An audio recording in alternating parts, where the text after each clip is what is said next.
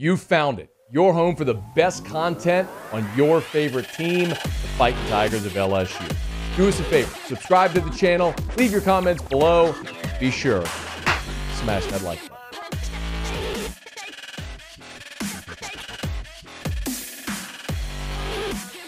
Let's just start with a big broad one. What's LSU getting in uh, cornerback Sevyn Banks? You know, he's uh, was a highly recruited guy. He came in, he, you know, he played pretty well early in his career. You know, struggled a little bit. You know, the last season, last couple, you know, part of the year prior, but a lot of that was due to the injuries. And you know, he had a hip injury. I know. You know, coming out of the season, he was thinking about potentially leaving and going, you know, entering the draft. I think he wanted to get another year of better film. Uh, but he's a big guy, like a physical guy. You know, he can probably play. He can play outside. Maybe he can play inside in the slot. Like I said, he's very muscular. You can move him around. Uh, but he, he's a guy that's very physically gifted and you know can run well when he's healthy. You know, Bob, we've become accustomed to seeing a lot of these Ohio State cornerbacks go into the draft and go. I mean, Jeff Okudah, Damon Arnette. I mean, you, you know the list. How does he compare? Does he compare to some of those guys who are like really big time NFL prospects? Um, you know, I, I think he shares some of the same measurables as them, and that was one of the things Ohio State. You know, they they rarely recruit corners under six feet tall, so they have guys that are six foot, six one, uh, that are physical, that can run, and so kind of checks some of those boxes. You know, he, his, his issue though is he's just been battling an injury, and so last year he wasn't able to practice a lot. You know, in the spring, and then you know, got hemmed up. He couldn't really practice a lot during the season, and when you're out there and you can't really get the reps, especially coming out of like a COVID short year and not having spring ball the year before, kind of hampered his development a little bit. And I don't feel like he was ever really healthy. But the guy has he has the measurables. You know, I don't know if I'm ready to put him on the level of Marshon Lattimore, Denzel Ward, or guys like that who who made Pro Bowls and have been great players. But you know, he has all the same measurables, and you know, was recruited by Kerry Coombs there you know, a guy who looks at all these guys the same and has done a great job of developing them. Yeah, shame on me for not mentioning the guy who signed the biggest cornerback contract ever, and then Marshon Lattimore, who's obviously plays for the Saints. But uh, obviously, Ohio State's turned out a lot of a lot of good defensive backs, which Bobby, it's probably one of the reasons LSU fans are excited about this because it's definitely a position of need, and it comes from a, a program that obviously has produced a lot of good talent at that position. Um, let me let me go back a little bit and talk about sort of the the progress through his career. If you could walk us through um, you know, Sevyn Banks and his, I guess his process to get on the field, because obviously there was a logjam there when he first showed up. Yeah, I mean that's the thing. Like you mentioned, all the great players that Ohio State's had. I mean, they had Jeffrey Okudah and Damon Arnette there at the beginning, and both of those guys ultimately got drafted in the first round. And like I mentioned, shared a lot of those similar traits and measurables that you know a lot of the other corners that we've talked about had. So they've done a you know good job, and so he had a hard time initially getting in. But you know one of the things they like to do is roll their young guys in, give them twenty percent, thirty percent of the snaps, keeps your starters fresh, keeps them healthy, and then also gets those young guys a lot of uh, some much needed experience against really talented players and some you know in some big games. So they, they throw him out there at any point in time, and know started out very promising in his career because he's a very skilled athlete, possesses a lot of talent you know, but I think a lot of it was due you know, the, the last few seasons. He, he just wasn't healthy, and I didn't fully realize it. You know, I'm over practice a lot. You know, I talked to Sevyn on the sideline, and you know, I, I don't think he fully realized or let on how bad it was. And so he was playing through some things, and so when you see like, ah, he looks kind of stiff, or he didn't maybe move quite as well, and then you know, come to find out, you had some pretty serious stuff that it was all recoverable, but it's just a timeline and something you can't get fixed during the season. So you know, he was able to get on the field early his career in small doses, play a little bit more in his second year. Uh, then you know, third and fourth year just was a little bit hazy and muddy just due to some of the injuries that he's had. So you mentioned a hip injury. What else has he dealt with?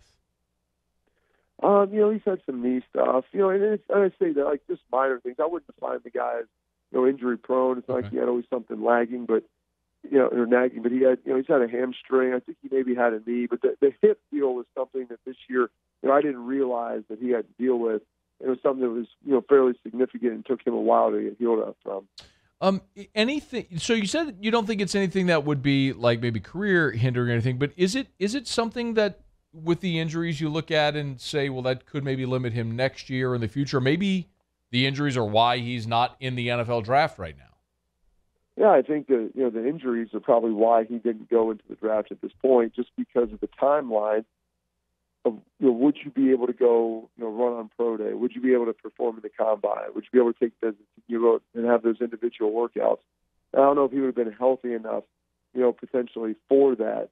Um, and I think that's probably why, you know, you know, like to get in the portal, see what else is out there. You've got a great program like LSU that puts a ton of dudes in the league. You got a new coach in Brian Kelly. It's a position of need for them. And so, hey, this is going to give you a little bit longer to rehab, get healthy.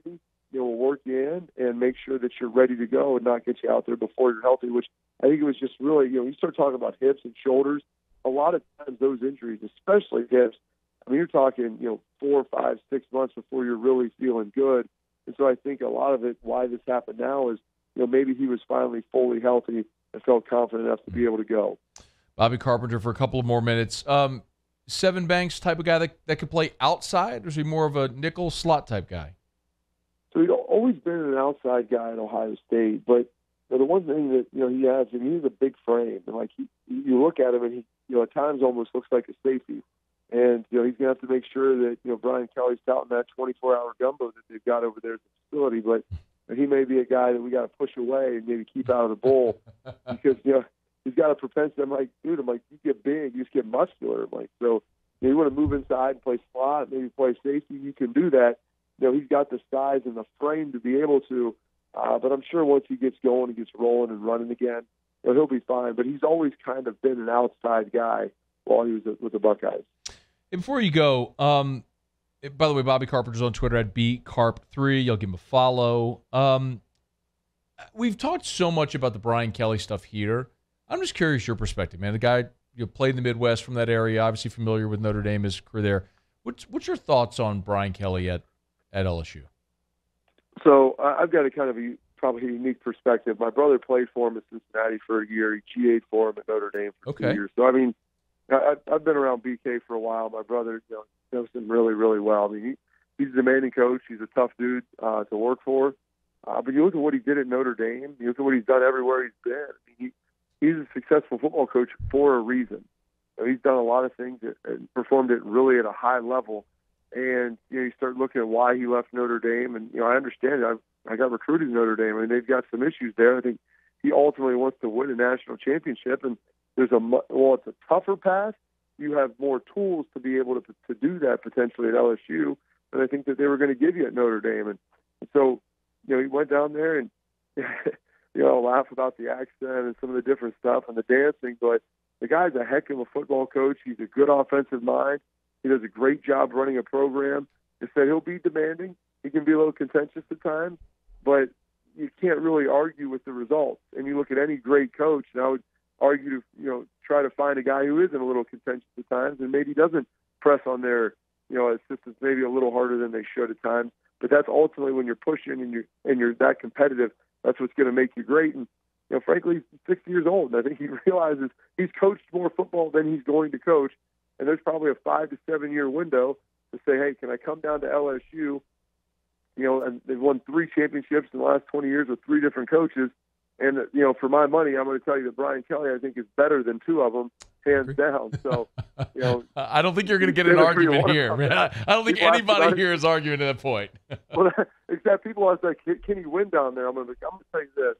I love Coach O. I, I love him, entertaining guy. Like, I think Les Miles is a great dude, but Brian Kelly's a better football coach than both of those dudes, and they both went, managed to win a national title. So, I'm not saying he's going to win one, but he's going to give you a heck of a good shot.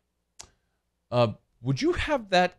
Like, just, I'm going to clip that. Maybe we just send that to every Notre Dame fan who just lives in my mentions who doesn't quite understand that right now. I mean, hey, guys, you're not alone. Believe me. I, I've told people this a ton. I'm like Notre Dame. They are very antiquated with how they operate, and you know they they don't want to have you know food available to players 24 hours a day. They want their guys to live in dorms to normal students for four years because that's what all the other students do. And like the reality is in college athletics, like it's tough to find. You can find guys that will do that, but it's really tough to find a lot of them. And I challenge you this, guys. Like this is why Notre Dame they've they've had a trouble outside of Kizer. You know, he's been kind of their one quarterback that was drafted fairly high. But we're talking about Sevyn Banks. You talk about all the DBs Ohio State's had. Notre Dame, I looked this up in the last ten years. I don't think they've had a cornerback drafted, maybe one guy in the third round. Mm. So people talk about why they struggle. I'm like, you struggle against Alabama. You know, it's not because you can't stop the run up front. It's because you can't stop the run and play man on the outside. So you either have to choose what you're going to do and how you're going to get beat. If you don't have anybody that can ever lock anyone up, and I think that's been one of the biggest issues in their ability to recruit up there at Notre Dame. And I think Brian Kelly was just like, all right, if you guys aren't going to help me, then I'm going to go somewhere that will and the truth shall set you free. It's just so like it's so validating to hear from someone that's not sitting in Baton Rouge, Louisiana. Like you and I will have a conversation another day about Notre Dame, maybe. But um, uh, Bobby Carpenter, good stuff, man. Appreciate you as always for taking a couple of minutes, man. Thanks for jumping aboard today. Hey, my pleasure. Thanks for having me on, guys. Hey, thanks so much for watching. Please leave your comments. I love to interact, and be sure to hit the red subscribe button below.